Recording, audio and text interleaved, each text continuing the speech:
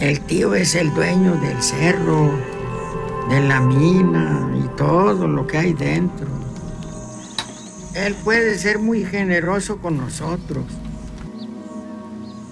Pero si no lo respetas, el tío no olvida, no perdona.